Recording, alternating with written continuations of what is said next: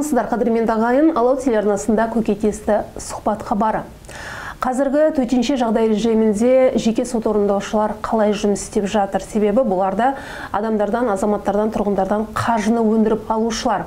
Дегенмен де қазіргі таңда банк өздерінің ә, берешек несиелерін тоқтата тұруға шешім қабылдады. Жалпы қазіргі жағдайда халыққа біршама жеңілдік жасалып жатыр. Ал сот орындаушылардың әрекеттері қалай болып жатыр? Осы және өзге де сауалдарға жауап алу үшін біз бүгінгі студияға қостанай облыстық жеке сот орындаушылар өңірлік палатасының төрайымы несібелі басенова ханымды шақырып отырмыз. Несібелі зариванқызы сәлеметсіз ба? Студиямызға қош келдіңіз. Уақытыңызды бөліп келгеніңізге алғысымызды білдіреміз. Енді қазіргі кездегі сіздердің жұмыстарыңыз қалай болып жатыр? Жұмыс жалғасып жатыр ма? Қандай форматқа көшті?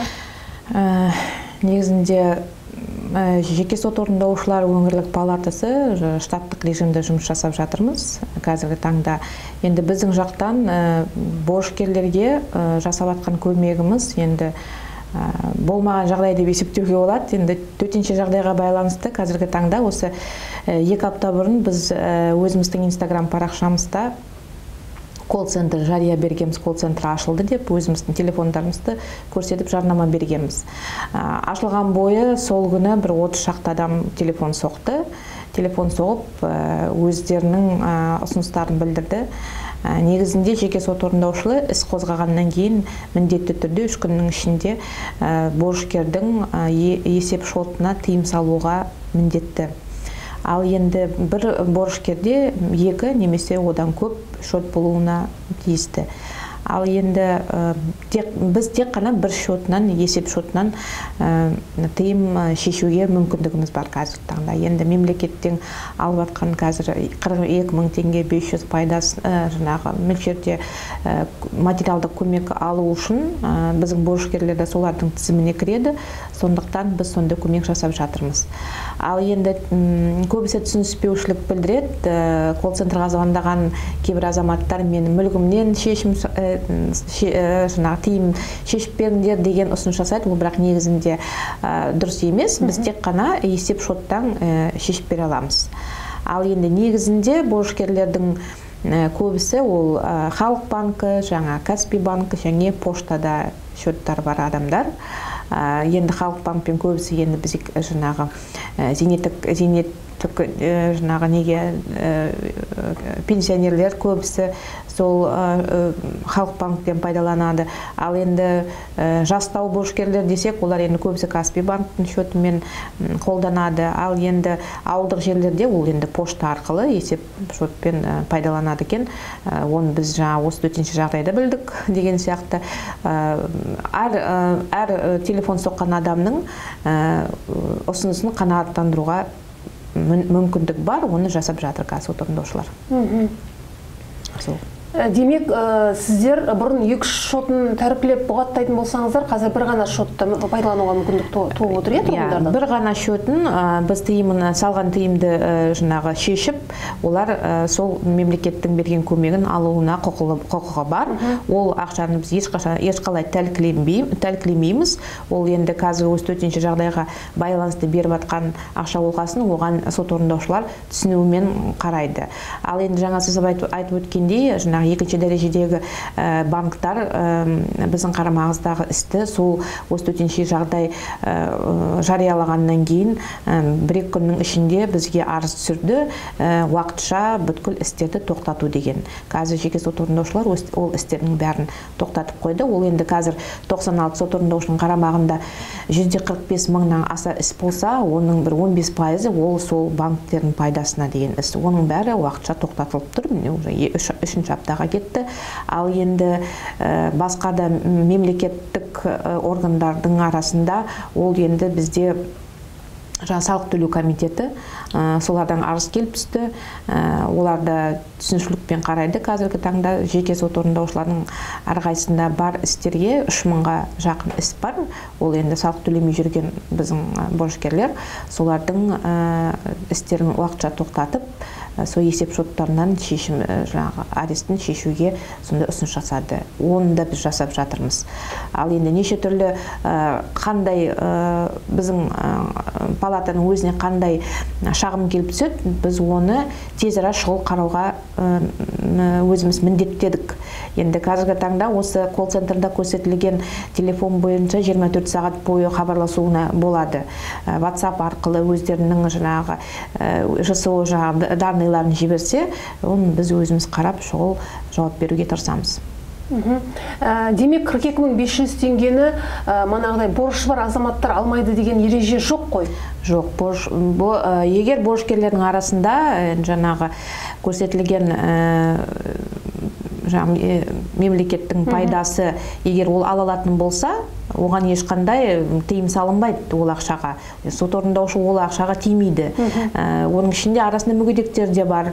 Енді борышкерлердің арасында напақа алимент төлемей жүрген де иә. борышкерлер бар.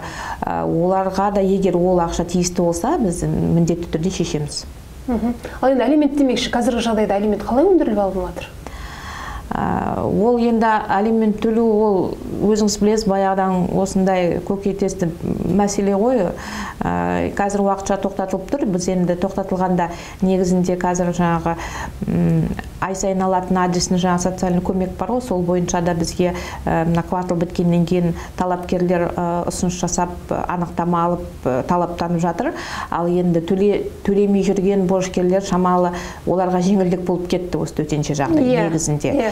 Себебі біз оларды қазір әкімшілік жауапкершілікке де қылмыстық жауапкершілікке де тарта алмаймыз. Себебі қазір соттарда олар енді удаленный режимде жұмыс жасап жатыр. Уақытша жаңағы бізде прокуратура органы бар сонымен ақылдасып уақытша тоқтатып қойдық ол істерді.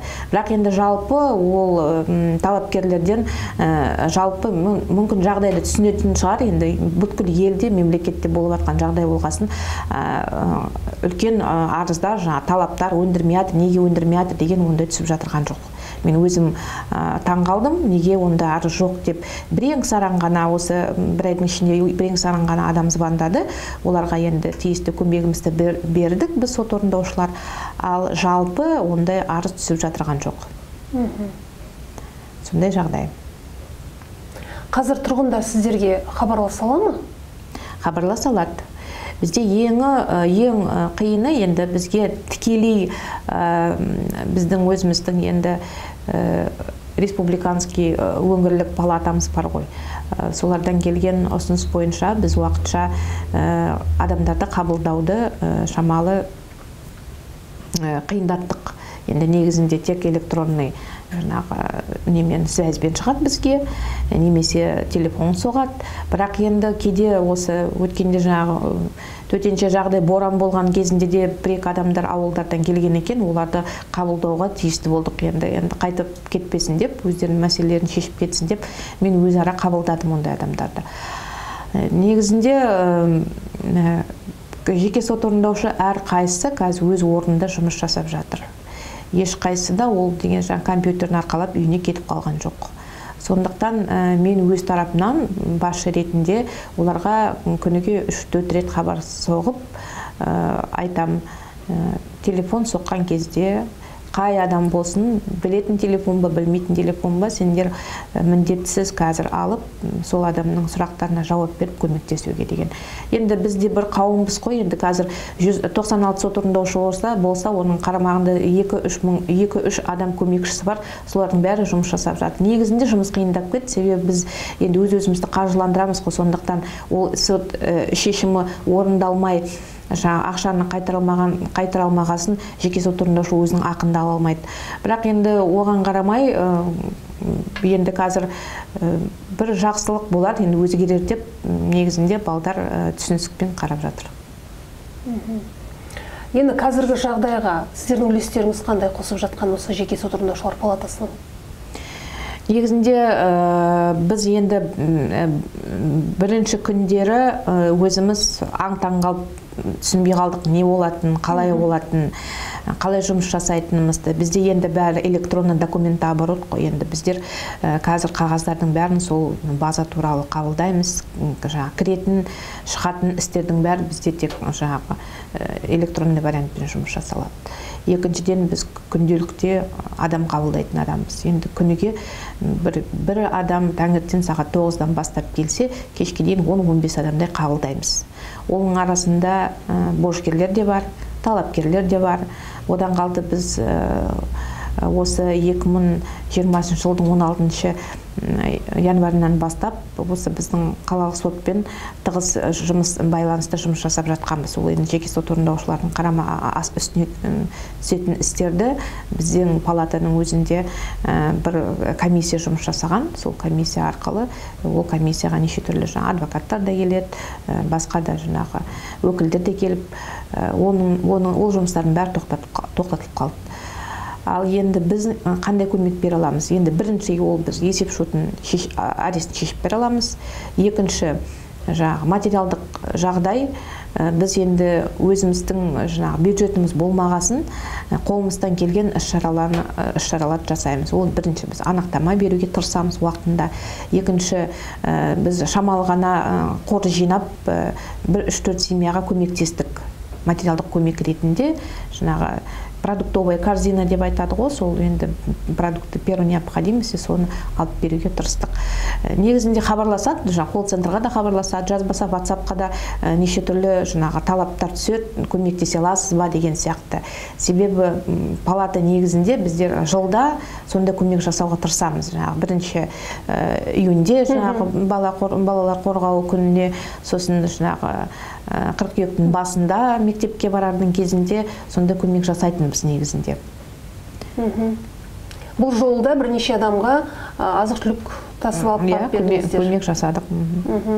Енді сіз өзіңіз жеке тұлға ретінде себебі іскер әйелдер қауымдастығының мүшесісіз нұр отан партиясының мүшесісіз еліміздің құрметті заңгері деген атағыңыз бар. Жеке тұлға ретінде азаматтарға мұқтаж жандарға қандай көмек беріп жатырсыз? Ну енді негізінде ә, менің енді өз көзқарасым енді қиын жағдай. Негізінде бұл тек қана ә, осы біздің сот орындаушылық қауымына емес бүткіл елге де өте қиын жағдай. Бәрін де түсінеміз көбісі жұмыссыз қалды. Ал енді ә, көбісінің ә, жоспарлаған ә, жазға деген жоспарлаған бір жоспарлар орындалмай қалып жатырған жағдайлар бар. Әрі қарата біз білмейміз ертең не болатынын сондықтан енді әр адамға енді бізге келген адамдар білесіз енді соттан шыққан адамдар көбісі ә, жаңағы кейбіреулері деген ә, заңды білмейтін адамдар болады. Ә, қолына соттың шешімін алып қай есікке барарын білмейтін адамдар бар. Сондықтан біз өзіміз ә, ақысыз негізінде өзіміз қабылдап дұрыс жолға түсіруге заңгерлік көмек иә, заңгерлік көмегімізді береміз. Жаңағы сіз айтып отқандай жаңағы нұр отан партиясының мүшесі болғасын көбісі мүмкін таныңқырамаса да бірақ мен көп қоғамдық жұмыстарға қосылуға дайынмын әрқашанда. Сондықтан енді мына іскер әйелдер қауымының осы жылдың басынан бастап жаңа төрайым келді. Жаманқұлова гүлсара деген. Вот ол жас біз қатармыз. Сондықтан біздің правлениеміз шамалы мүшелері өзгеріп біз қазіргі таңда көптеген жұмыс атқаруға ә, талаптанып жасадық та.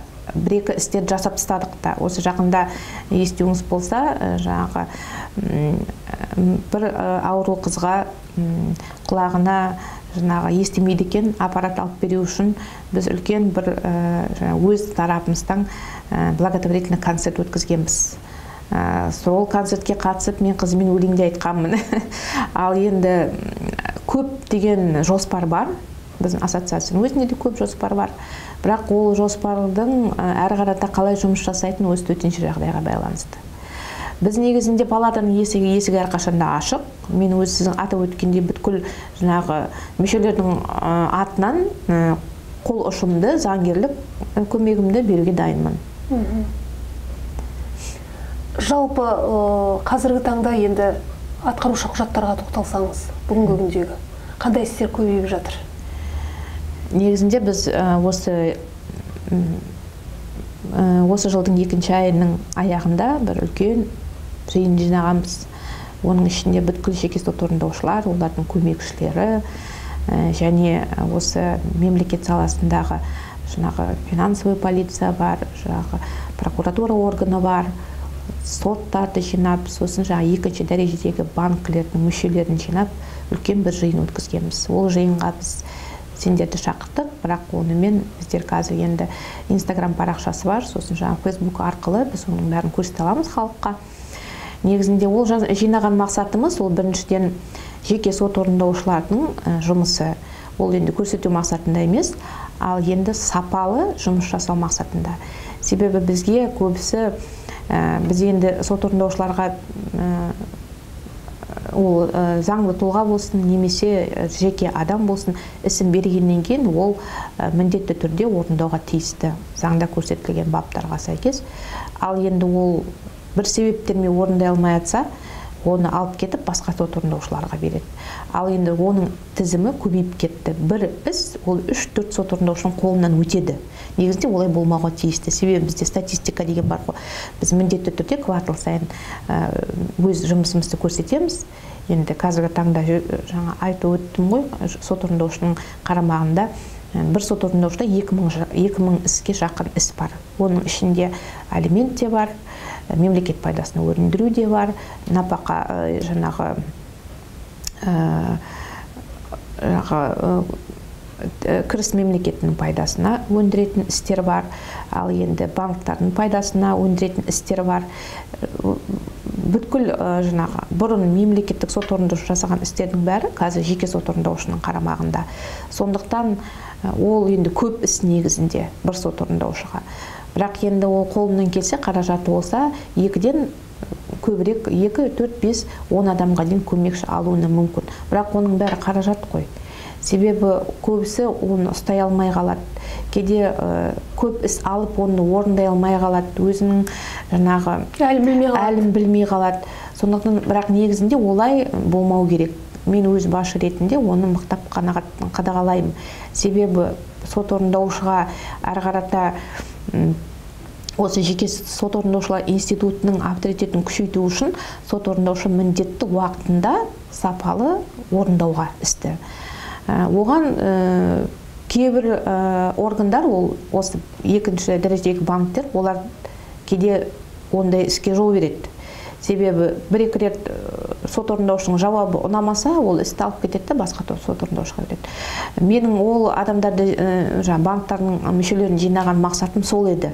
Оларға түсіндіріп айтуға олай болмауға тиісті. Сіз қаланың ішінде елу сот орындаушы бар ма? Соның арасынан сіз тек қана төрт бес сот орындаушыны таңдап аласыңдар. Оларда аккредитация деген болады. Таңдап аласыңдар таңдап алғаннан кейін сіз міндетті сол басынан аяғына дейін бітіруге.